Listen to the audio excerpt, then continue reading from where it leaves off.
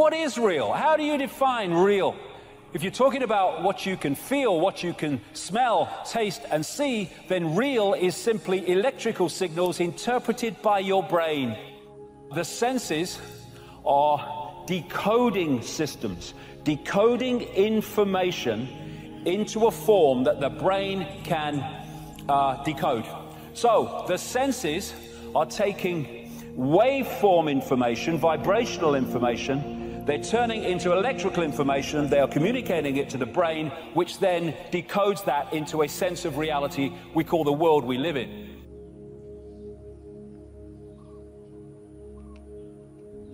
So the world that we think we're living in exists there. The brain is dark but sees light. How is that possible? How can my brain be totally dark and I see this light? Because that light, in its prime form, like everything else, is just an information source. And I am decoding that information source in here into the visual reality of light because that's what the information contains. Thus, that's what it manifests when I decode it. This is mainstream science. They talk about dark energy, dark matter. I see that slightly differently, but the principle's the same what you can see and what you can't see. So you have this massive area of stuff they say exists in this universe which we can't see. You then have light, electromagnetic spectrum, etc., which is 5% of what they say exists in this universe, and visible light, which is the only frequency band that we can decode into a visual reality. This is the visible spectrum within the electromagnetic spectrum. Look at it, it's tiny, and that's all that we can see. So, this is right. There is no spoon. It's not the spoon that bends, it is only yourself. Because that spoon only exists in that form when you decode it from energetic information. Information is encoded in what we call light. White light contains all the colors of the spectrum, and colors are frequencies. They're just different frequencies, and when we decode them, we see that color. And we, we think those flowers are red and yellow. They're not. Nothing has any color. The color is decided in our perception of it. The moment the brain puts all of its attention on the cause, it takes a snapshot, and that's called a memory. So long term memories are created from very highly uh, emotional experiences. So, what happens then is that people think neurologically within the circuitry of that experience, and they feel chemically within the boundaries of those emotions. And so, when you have an emotional reaction to someone or something, most people think that they can't control their emotional reaction. Well, it turns out if you allow that emotional reaction, it's called a refractory period, to last for hours or days, that's called a mood. I say to someone, hey, what's up? You say, I'm in a mood. Well, why are you in a mood? Well, I had this thing happen to me five days ago, and I'm having one long emotional reaction. If you keep that same emotional reaction going on for weeks or months, that's called temperament. Why is he so bitter? I don't know. Let's ask him. Why is he so bitter? Why are you bitter? Well, I had this thing happen to me nine months ago. And if you keep that same emotional reaction going on for years on end, that's called a personality trait. And so, learning how to shorten your refractory period of emotional reactions is really where the, the work starts. So, then people, when they have an event, what they do is they keep recalling the event because the the emotions of stress hormones, the survival emotions, are saying pay attention to what happened because you want to be prepared if it happens again. Turns out most people spend 70% of their life living in survival and living in stress, so they're, they're always anticipating the worst case scenario based on a past experience, and they're literally out of the infinite potentials in the quantum field, they're selecting the worst possible outcome and they're beginning to emotionally embrace it with fear. And they're conditioning their body into a state of fear. Do that enough times, body has a panic attack without you. You, you can't even predict it because it's programmed subconsciously. And what that means from biological standpoint is that they haven't been able to change since that event. So then the emotions from the experience tend to give the body and the brain a rush of energy. So people become addicted to the rush of those emotions, and they use the problems and conditions in their life to reaffirm their limitation so at least they can feel something. So now when it comes time to change, you say to the person, Why are you this way? Well, every time they recall the event, they're producing the same chemistry in their brain and body as if the event is occurring, firing and wiring the same circuits and sending the same emotional signature to the body. Well, what's the relevance behind that? Well, your body is the unconscious mind. It doesn't know the difference between the experience that's creating the emotion and the emotion that you're creating by thought alone. So the body's believing, it's living in the same past experience 24 hours a day, seven days a week, 365 days a year. And so then when those emotions influence certain thoughts, and they do, and then those thoughts create the same emotions, and those same emotions influence the same thoughts, now the entire person's uh, state of being is in the past. So then the hardest part about change is not making the same choices you did the day before, period. And the moment you decide to make a different choice, get ready because it's going to feel uncomfortable. It's going to feel unfamiliar. It, there's going to be some why, uncertainty. Why does it feel so uncomfortable? Is it because of the the the neurons that fire together wire together? So I've there's like an easiness to that loop, just because literally, and you've talked very eloquently about this the way that the neurons connect in the brain, how rapidly, I've seen you show footage of how yeah. rapidly those connections happen, which is pretty incredible. Um, is, is that what makes it so discomforting for people? I think that I think that the bigger thing is that we, we keep firing and wiring those circuits, they become more hardwired. So you have a thought and then the program runs but it's the emotion that follows the thought. If you have a if you have a fearful thought, you're going to feel anxiety. The moment you feel anxiety, your brain's checking in with your body and saying, "Yeah, you're pretty anxious." So then you start thinking more corresponding thoughts equal to how you feel. Well, the redundancy of that cycle conditions the body to become the mind. So now, when it comes time to change, person steps into that river of change and they make a different choice, and all of a sudden, they don't, they, they, they don't feel the same way. So the body says, well, you've been doing this for 35 years. Uh, just stop feel, suffering and stop feeling guilty and stop feeling shameful, and you're not going to complain or blame or make excuses or feel sorry for yourself. Well, the body's in the unknown. So the body says, I want to return back to familiar ter- territory. So the body starts influencing the mind, and it says, Start tomorrow. You're too much like your mother. You'll never change. This isn't going to work for you. This doesn't feel right. Uh, and so, if you respond to that thought as if it's true, that same thought will lead to the same choice, which will lead to the same behavior, which will create the same experience, which will produce the same emotion. When you are moving away from yourself, as long as you're moving back towards your universal essence, your harmony with yourself, your cooperation with the rest, things will start happening in ways that you never dreamt of. And we, it's, it's a term that we use to, to explain how unexplainable coincidences sort of happen in our life and how come these things happen. I'm going to share a couple of those with you before we leave. The, the quality versus appearance in your life means that you get that inner candle flame working in a way that gives you quality, independent of what other people think of you. Maslow, in defining self-actualizing, no-limit people, said they are independent of the good opinion of other people. Of the good opinion of other people. Independent of it. They're so busy advancing confidently, doing the things that make sense, and bringing success to changing their baby's diaper, and bringing success to weeding their garden and bringing it to the job. They bring it on the airplane so that when they run into somebody who is, who is rude to them, a stewardess that is rude, they don't see it as an attack on them. It's just where they are and they send them love. Help them a little bit. You know, they're kind. When somebody wants to get in on the freeway, it is, it's a new way of being. It's a way of quality where your harmony allows you to cooperate and you are a part of what this whole thing is about. New way of being, quality rather than appearances. Another new way of being. Very important. Living your life on ethics rather than rules. All these rules, all these ways of having to do things. Somebody else dictates to them. Do you know that some of the most immoral acts in the world have been perpetrated in the name of the rules? These are the laws. What do you think Nazi Germany was all about? Everybody doing all these horrible things to other people. I'm only doing my job was the defense we all heard at Nuremberg. I was just doing my job. If it's an immoral rule, it's immoral to obey it. And self-actualizing people, as Maslow tells us, have rules inside of them that they could never obey, never disobey, ever.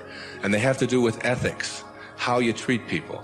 How do you think we get to where we are now? You know who Rosa Parks was? The woman in the South, the black woman in the South who said, not today. I'm not going to the back today. No way. I know what the rules are. The rules were all over the place. If you didn't need, if you needed a reminder, there were signs every place. Colored in the back, white in the front. And she said, no, I'm sitting here. And that made all the difference. Ethics, not rules. When your children start disobeying rules that need to be disobeyed, don't be surprised.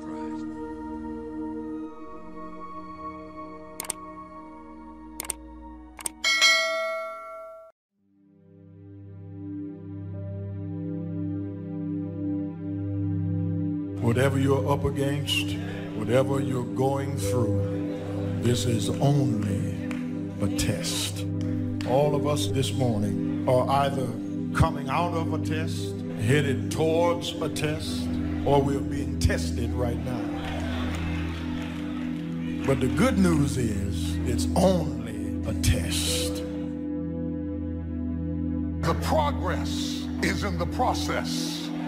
And if you don't if you don't do it, he can't bless it. You got to throw everything. The misnomer is you have grossly underestimated what it takes to succeed. Want to be a doctor? Work that thing. Time is short. What is your life? It's even a vapor that appeareth for a little time and then vanisheth away. The saddest thing I have ever seen is a wasted opportunity.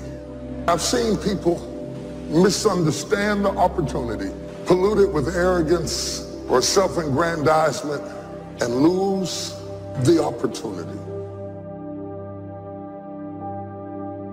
You may not understand why it's taken so long, why it hasn't turned out the way you thought, why you're in a lonely season, but everything you've been through was to strengthen you to develop you, to prepare you. God wouldn't have allowed it if it wasn't part of the process. Without it, you couldn't give birth to what's in you. Keep passing the test. Keep doing the right thing, then your time is coming. Your baby is on the way. What God promised, he will bring to pass. Listen to me. You have been given an opportunity. You have been given an opportunity of a lifetime. And if you think you're going to blow up, if you think you're going to get to the next level by luck, you got another thing coming. You're not going to go through life and get everything you want all the time. And you need to learn to be happy anyway. Need to trust God. If that's what God wants you to get, then he'll get it to you. And if it's not coming to you right now, then just be a happy camper anyway. Opportunity comes in chaos. A chance to stand up. A chance to get it right. A chance to make a U-turn. It may not be for everybody. It is how you perceive the chaos, whether you determine it to be opposition or opportunity. The process, the little steps that make a mile. It is not the destination. It is the things you learn along the way. It is the people who beguiled you and tricked you that make you wiser. Wisdom is made out of the stupid things you did before you got it. Don't miss it. That process is invaluable to you getting there. Does that mean that you have to be my age before you get there? Absolutely not. But it does mean that you don't go from thinking a thought to producing an idea without pain. The gestation period is critical. Gestation creates formation. By not being prepared, you make the choice of getting caught in some of life's unpleasant circumstances failures, personal losses. By not being prepared, it's your choice. Now here's the other side of it. By being prepared, you increase your chances of success. Some people tend to blame others for their mistakes. Concentrate on the work at hand and demand of yourself the discipline to stay focused. If you have a long list of things to get done within a day, do the toughest ones while your concentration is at its peak. Learn your body's rhythms and do the jobs that need the most concentration when you're able to do them best. Use your discipline to keep your mind in line. When you recognize the need to concentrate more, when you recognize this need, it will come easier and easier. Focused concentration can become a habit. Make your mind pay attention. Discipline yourself to be where you are. Work at work and play at play. Don't mix the two. I know people do things that hurt you. Everything is not fair and everything is not just and everything's not right. And sometimes you've done the very best and you don't get selected and you don't get the opportunity and you haven't gotten recognized. You cannot afford to get bitter because if you get bitter, you will never get better. You got to get that out of you. If you got to cough it up, if you got to throw it up, if you got to pray it up, you got to get it out of you. There's a curse on it. There's a curse. You got to get it out. Get it out. Get it out. Get it out. Get it out. He left you. He cheated on you. But get it out. Get it out of you. Get it out of you. So you go ahead. When you look at over 33 million people have lost their job, this is unprecedented. There, there's trauma that's going on all across the country. It affects all of us. There are things that we can do and things that we must do to pick ourselves up Success is not final and failure is not fatal. We all have the challenge to search deep within ourselves to find our inner hunger, which is our power.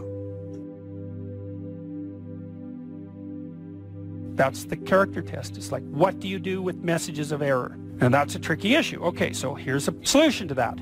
Here's what not to do. I am a bad person. I got to see myself. I'm a bad person. I might as well just go jump off the bridge. It's like, no, that's not good because what that means is that every time, every time you try to learn something, you're going to make a mistake because what do you know? So you're going to make mistakes. And if the rule is every time you make a mistake, you're going to go jump off the bridge, then that's not a useful problem-solving strategy. And so when you make a mistake, you don't get to beat yourself to death with a club. It's a bad strategy, and you'll have your internal tyrant in there who's perfectly happy about doing that. That's the overactive superego that Freud talked about. Maybe it came to you via a parent who was too authoritarian or a grandparent, or maybe it's just you because you're disagreeable and neurotic or hyper-conscientious. You'll take yourself apart. Then the question is, well, what does that mean? Well, maybe you're not looking at the world right. Maybe your goals are wrong. Maybe you're not acting properly. If you take yourself and you put yourself in a new environment, new genes turn on in your nervous system. They encode for new proteins. You're full of biological potential that won't be realized unless you move yourself around in the world into different challenging circumstances, and that'll turn on different circuits. It's that by exposing yourself to different environments, you put different physiological demands on yourself all the way down to the genetic level, and that manifests new elements of you because you take yourself out of your dopey little village and that's just the little bounded you that everyone knows and that isn't very expanded and then you go somewhere dark and dangerous and while you do that you have adventures and they toughen you and pull more out of you partly because you're becoming informed now, my approach to my better future very early on in my career was to just go through the day with my fingers crossed. I sure hope things will change for the better. Then here's what I found out. They're not going to change. When you change, when you get better, it'll get better. Don't put it on someone else. Hope that someone else will change it for you. Take responsibility for yourself. You can't change the circumstances or the seasons or the wind. You can change whether or not you go for the skills, multiply your value by two, three, five, ten. That you've got charge of. That you have control of. You don't have control of the constellations. Learn some new skills. You have control over that. And if you don't, that's your fault. You've got to take personal responsibility. You've got to be self-reliant. Nobody else can change your life, alter your ambitions, pave a golden road for you. It's up to you Be responsible for yourself. Learn to reap the harvest without complaint. Take full responsibility for everything you do. Be responsible to yourself. It's your crop. And so if your life isn't everything it could be, you could ask yourself, well, what would happen if you just stopped wasting the opportunities that are in front of you? You'd be who knows how much more efficient, 10 times more efficient. If people stopped really, really trying just to make things worse, we have no idea how much better they would get just because of that. So there's this weird dynamic that's part of the existential system of ideas between human vulnerability, both of which are, are major causes of suffering, and the failure of individuals to adopt the responsibility that they know they should adopt. People have a conscience it's this feeling or voice you have in your head just before you do something that you know is stupid, telling you that probably you shouldn't do that stupid thing. But you go ahead and do it anyways, and then, of course, exactly what the conscience told you was going to happen inevitably happens so that you feel even stupider about it than you would if it happened by accident. I knew this was going to happen, and I went and did it anyways. And the funny thing, too, is that that conscience operates within people, and we really don't understand what the hell that is.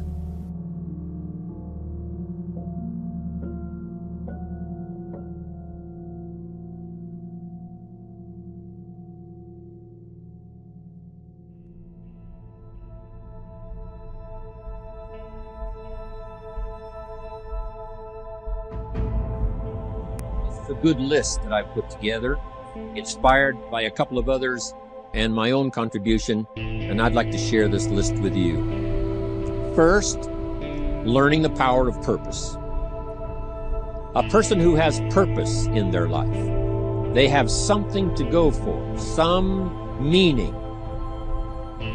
One writer described it for some people, it becomes a magnificent obsession.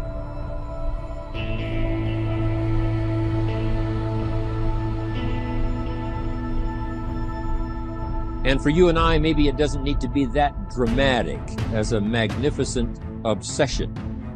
But it has to be something that does something to us, something that pulls us, especially into the future. You know, there are many influences on us. One is the influence of the past. Some people are always pulled back, back, back by the past.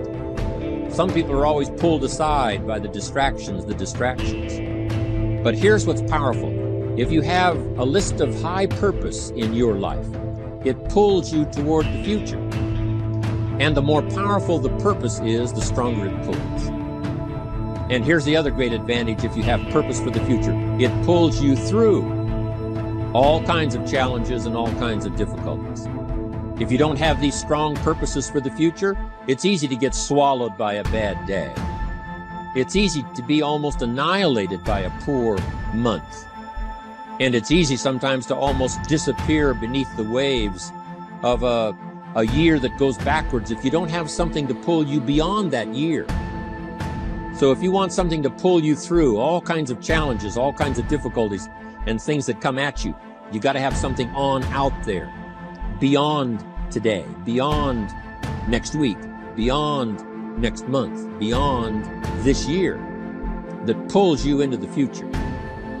And the clearer it is, the stronger it pulls. The more, more dynamic it is, the more it affects your life, your spirit, your heart, your soul. It also creates imagination. It gets your mind working on how to achieve that purpose. And if your mind will work, and if your heart works, and if your spirit works, and if you have good input, like good ideas, I'm telling you, there isn't anything you can't accomplish. So that's one of the great powers that'll make a variable of you, and that is purpose.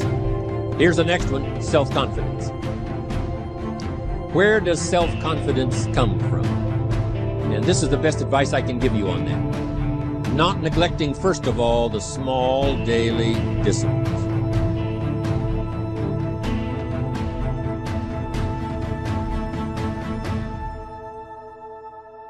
Self confidence really comes from feeling good about yourself.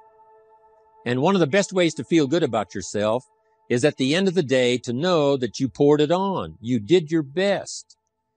If you conducted a meeting, you did the best you could. If you made a phone call, it was the best phone call you could possibly make. If you wrote a letter, it wasn't a casual letter, it was your best letter. At the end of those kind of days, when you feel good about yourself, self-confidence starts to rise. You know that if you can have this kind of a good day, you can have another one the next day, and those days become the weeks, the weeks become the months, and the month becomes a powerful year. Self-confidence comes from the lack of neglect. If you will not neglect to do the small daily disciplines, that's where self-confidence comes from. Part of good health is self-confidence. I know I'm going to be healthy. I eat the apple a day. I walk around the block. I do the jogging on the beach. At the end of the day, when you've really poured it on and you've done all the stuff, self-confidence grows. That self-confidence affects your health, it affects your future, it affects your psyche. So this is true. One of the great powers is self-confidence. Self-confidence means willingness to do whatever it takes to achieve. Some people say, well, I'll do it for a little while and see what happens. You know, I'll try a couple of things. If that doesn't work, I'm out of here. And all of us know that that kind of person doesn't have much of a future. But if you're willing to do whatever it takes, if I have to learn a couple of things, I will learn those things. If I got to learn five or six things, I'll learn all six. If I have to take an extra class, I'll take an extra class. If I've got to read the books, I'll read the books. If I have to consult with people who know more than I know, I will do the necessary consulting. Whatever it takes, I will do. That starts to develop unbelievable self-confidence. Self-confidence also comes from the ability to rise above your circumstances, to rise above what happens, the petty little things, the discouraging things that would sink everyone else's ship except yours, that would cause someone else to quit early in the day, but you keep going. That kind of willingness to overcome all circumstances, whether it's the little challenges or the big challenges. If you're willing to do that, I promise you, this kind of power will work for you, and in you, the variable, it'll make a difference. The third on the list I had was enthusiasm. And here's what I wrote about enthusiasm. Enthusiasm that's powerful is mostly enthusiasm that is enthusiasm inside, 90%, 10% outside. We all know what the enthusiasm is like when somebody lets us see their enthusiasm, which is the, like the 90% and only 10% of it is inside. But the enthusiasm that really affects people is not just being loud, but the enthusiasm that runs deep, the enthusiasm that comes from deep inside, created by self-confidence, created by purpose, created by genuine willingness to help other people. That kind of enthusiasm knowing that you're going to get the job done, knowing you're going to affect people, knowing you're going to have testimonials flowing in from all kinds of uh, directions. That kind of enthusiasm. A lot of it is quiet, a lot of it is unheard. And the 10% that's heard, it rings a bell. People call it genuine enthusiasm because they know that what you say in the outward display of your enthusiasm is only a small tip of the iceberg of the enthusiasm you feel inside that really motivates you to do the best job you can. Why is it that most people don't pursue their dreams or don't do better than what they're doing if they're capable of doing it? I think that many of us don't go the next step because we don't know what to do yet. And I say that that the reason that we don't even explore the possibility of what to do is because subconsciously we don't believe that it can happen for us and we don't believe that we deserve it. How much time do you spend working on you? How much time do you spend every day working on your dream? In the last 90 days, how many books have you read? In the last year, what new skill or knowledge have you acquired? What kind of investment have you made in you?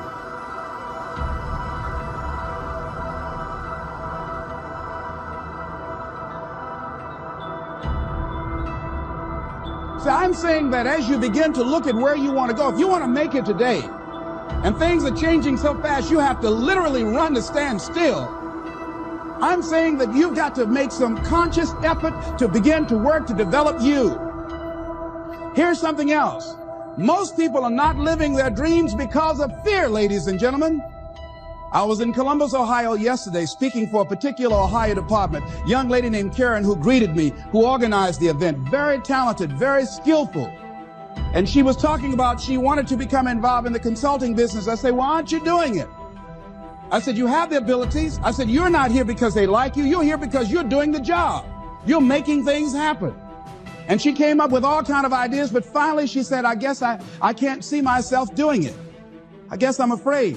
Fear, limited vision, and lack of self-esteem is what keep most people doing things they don't want to do.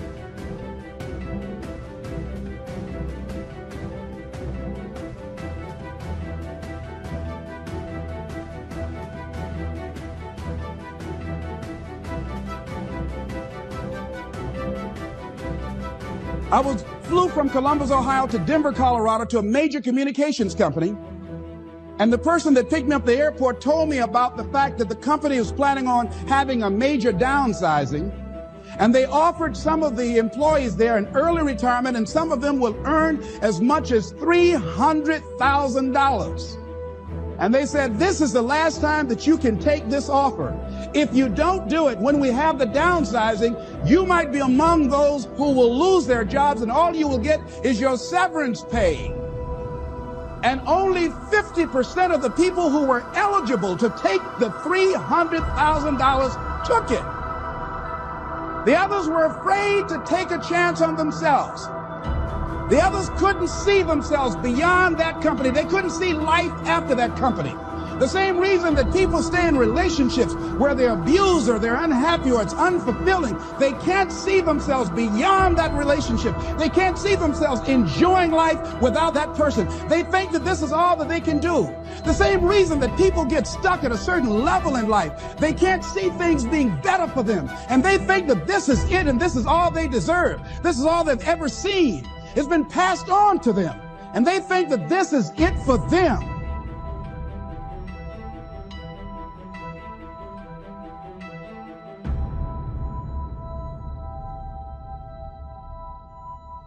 Oh no. I was looking what Dr. Blanton, Smiley Blanton, who is a colleague of Dr. Norman Vincent Peale, what he said about fear. He said, fear is the most subtle and destructive of all human diseases. Ladies and gentlemen, fear kills dreams. Fear kills hope. Fear put people in the hospital.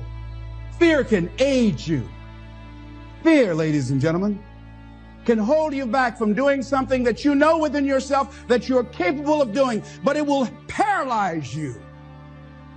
And it seemed like you're in a hypnotic spell and I ask you a question what is the benefit? What's the benefit of allowing fear to hold you back? What's the benefit of giving up on yourself, of not stepping out on life and taking life on? What is the benefit for you? What's the plus in that? It's one of the things I had to ask myself. So I didn't want to make any mistakes. I wanted everybody to like me. I wanted to be perfect the first time I did something. It's not going to happen. You're going to make some mistakes. You're going to hurt some folks' feelings. You're going to create some enemies whenever you decide that you want to begin to take life on. You've got to ask yourself, how long am I going to allow this to hold me back? I like what Zig Ziglar says. He said, fear is false evidence appearing real. That is an illusion that we create in our mind. It is a state of mind that can be changed. So let's look at how we can begin to take some steps to restructure that fear, to begin to expand our visions of ourselves, to begin to increase our self-esteem. Webster said that self-esteem means competence and satisfaction in oneself. Look at your life right now. Whatever you've done up to this point in time, your life is working. Whatever you have produced, it came out of you as a result of the kind of person that you have become. It's a result of your choices. It's a result of your consciousness. Now you have to ask yourself, Are you satisfied with what you have produced? Is this what you want? Would you like for things to be better than this? Do you believe that you deserve better than this? Or are you content? This is it. You don't have to do every, anything else. That you've already resigned yourself in life and say, well, I'm happy. I'm not starving like the people in Calcutta. Are you allowing yourself to get off the hook like that? Or do you believe somewhere in the back of your mind or in your heart that there's some other great work for you to do? There's something else that life has for you. And that's why you're here. How do we handle this fear factor? How do we increase our self-esteem? You have to begin to fortify yourself. How do we do that? I believe that you have to begin to consciously monitor your inner conversation and start talking to yourself. Start building yourself up. Sometimes the only good things you will hear about you are the things that you say to you. Young lady that, that was in the audience this afternoon said to me, I told myself yesterday for the first time, I'm proud of me. And she said, I felt good about that. So I'm saying learn to be your own booster. Start building yourself up. Start encouraging yourself. Start saying, I can do this. I can make this happen. When I started thinking about becoming a speaker, I said, yes, I can do this.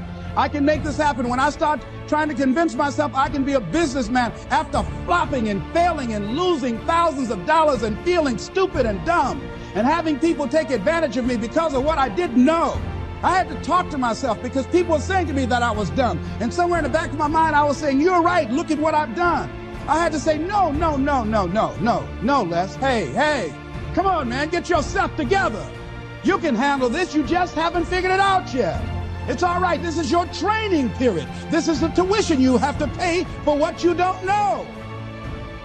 You can do this. Other people have done it. doesn't take an Einstein. Get you some people that can teach you some stuff that you don't know. Get you some people that have done it successfully and learn from them. Take some seminars, workshops, read some books on how to manage a business. Change the way you see yourself and begin to tend to the personal details. Understand that nobody's going to take care of your business better than you. And when I start changing that kind of mindset of beating myself up because of my mistakes and start looking at the possibility of my doing better, of my making the adjustment that would enable me to do what I want to do successfully, things begin to change. And I'm saying, stop beating up on yourself. You do do it. I know you do it. I've done it. It's a natural inclination for us to put ourselves down. See, we are born negative, I think, in a negative consciousness because we live in a negative world. See, you don't have to teach children to lie. They'll lie automatically. Did you wet in your pants? No, I did not. Well, what is that? I don't know. You don't have to encourage kids to misbehave. They will do it by themselves. You don't have to encourage them to do the wrong thing. They will do it automatically. You have to correct their behavior. So I'm saying that we have to work through the challenges of life in learning how to begin to work to fortify ourselves. Begin to guard your mind against negative programming, like turn off the television. Don't watch the news. Don't watch it. I think that, that, that more people have a sense of hopelessness and anxiety about life. If you look at the news, you cannot feel good looking at the news. You'll be scared to death. You're scared to go to sleep. I mean, it turns your power down. You've got to be conscious of that. Don't pick up the newspaper and read it. No, no. I just try this. Just experiment with yourself. Now, if your job depends upon you knowing certain things, let somebody tell you just about those things. But start filtering the stuff you allow to come in your mind. You know that song you used to say, don't let nobody bring you no bad news. I tell my staff, look here, don't tell me any bad news while I'm on the road. Let me handle it tomorrow. I don't like anybody to tell me any bad news at night before I go to sleep. I can't do anything about it anyhow. Why let me go to sleep with that on my consciousness? No. No, and my, my staff, they know that. Say, let it wait till tomorrow. And I have a period of time. Tell me bad news between 10 o'clock and 12 noon. After I prayed and meditated and read my books, I'm fortified. I'm ready to handle it. I deal with it and I'm out of there and I'm going on to something else. So you've got to guard the kinds of things that you put in your mind. See, if you don't program your mind, your mind will be programmed because human beings are goal oriented. That's why we die of broken hearts early. That's why we're running through life to early graves. We're going through life, ladies and gentlemen. And I think that Henry David Thoreau said that most men live in quiet desperation. Most of us go through life running scared. Larry DiAngi, who I think is going to be one of the greatest motivational speakers around today, told me a story, a true story of a friend of his that every day when he came home from school, when he would get to uh, a certain block in his neighborhood, there was a neighborhood dog that would chase him. And that dog would start after him barking. Boy, he would run, just running from that dog every day, every day. Finally, he just got tired of that dog chasing him every day. He said, this dog come around here I'm gonna take a brick of stuff and bust him in the head. So he was walking home that day, minding his own business. Sure enough, same area, there was that dog there. And the dog started barking, he started running, he saw a brick and he stopped and picked up the brick and turned around and the dog got close to him. He realized the dog didn't have any teeth. He said he put the brick down and said, get on out of my way.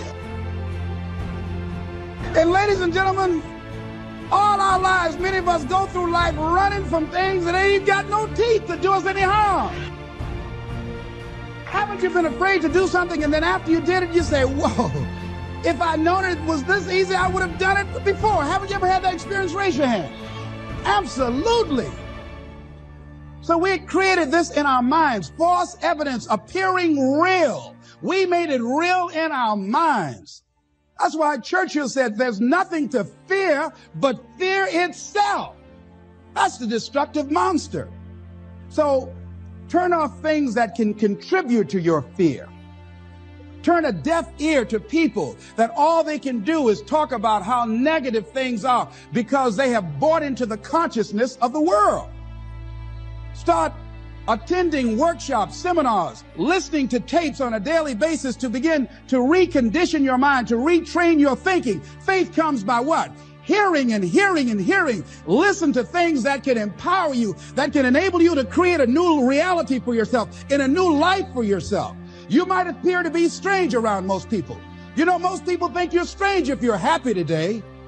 People say, how you doing? I said, better than good. Whoa, what's wrong with him? Just go around smiling and watch people. Look at this. Is this a weird guy over here? Because most people don't smile. Watch them. Look at their faces in the morning. Here we go, another Monday morning. How you doing? Haven't had my coffee yet. Don't ask me. See, these people have not found their purpose in life. That's why they're grumpy. That's why they're miserable. That's why they're so negative. They're hurting and they want to hurt other people. So start practicing using programs for your mind. Seminars, books, workshops. Keep a journal. Record your thoughts. What's happening with you? Every day when you get up, have a journal near you. I use a Jack Boland journal so that I can write down my ideas. I keep it by my bed so I can write down my thoughts. See, ladies and gentlemen, we get three to four thoughts a year that if we would act on those thoughts, they could change our life. Don't say, well, I'll, I'll remember that. No, write that thought down. I got a thought today. I wrote down.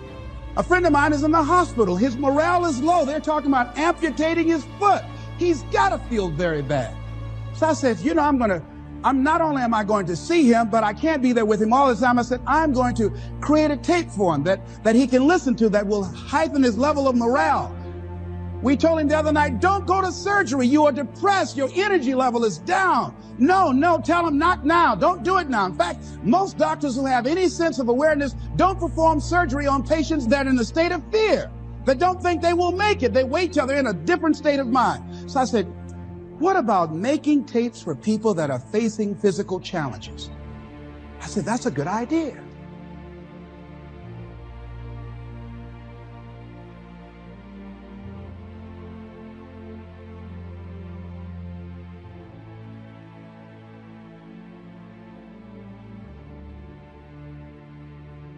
Credit goes to our awesome patrons who make videos like this one possible. Consider joining them to support our work. You can also support us by subscribing to our channel and clicking the bell button to get notified when our new videos are released. And as always, thank you for watching.